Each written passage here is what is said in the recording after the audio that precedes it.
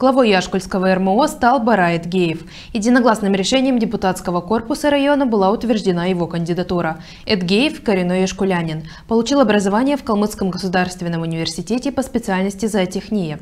Трудовую деятельность начал главным специалистом по племенному делу Управления государственной сельскохозяйственной службы Яшкульского района в 2002 году. Долгое время работал в племенном конном заводе имени 28-й армии. В 2020 году по решению депутатов района был назначен председатель председателем собрания депутатов Яшкульского РМО.